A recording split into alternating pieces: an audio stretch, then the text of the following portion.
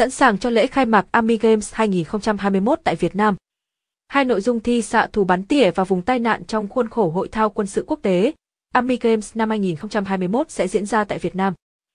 Ngày 13 tháng 8, tại Trung tâm Huấn luyện Quân sự Quốc gia 4, Miếu Môn, Hà Nội, Thượng tướng Nguyễn Tân Cương, Ủy viên Trung ương Đảng, Ủy viên Thường vụ Quân ủy Trung ương, Tổng tham mưu trưởng Quân đội Nhân dân, Quân đội Nhân dân Việt Nam, Thứ trưởng Bộ Quốc phòng đã chủ trì buổi tổng duyệt lễ khai mạc Hội thao quân sự quốc tế Army Games năm 2021 tại Việt Nam. Cùng dự có Trung tướng Nguyễn Văn Nghĩa, Phó Tổng tham mưu trưởng Quân đội Nhân dân Việt Nam, trưởng ban chỉ đạo Hội thao Bộ Quốc phòng. Sau khi tổng duyệt lễ khai mạc, lễ bế mạc và nghe ý kiến đóng góp của đại diện một số cơ quan, đơn vị, phát biểu kết luận buổi tổng duyệt, Thượng tướng Nguyễn Tân Cương biểu dương tinh thần cố gắng, tích cực của các lực lượng, bộ phận tham gia công tác chuẩn bị, luyện tập, hợp luyện thời gian qua. Thượng tướng Nguyễn Tân Cương nhấn mạnh, việc Bộ Quốc phòng Việt Nam đăng cai tổ chức hai nội dung xạ thủ bắn tỉa và vùng tai nạn trong khuôn khổ Army Games 2021 là hoạt động có ý nghĩa quan trọng, góp phần phát triển mối quan hệ tốt đẹp Việt Nam, Liên bang Nga và tăng cường giao lưu, hợp tác hữu nghị giữa quân đội nhân dân Việt Nam với quân đội các nước. Đây cũng là cơ hội để quảng bá hình ảnh đất nước,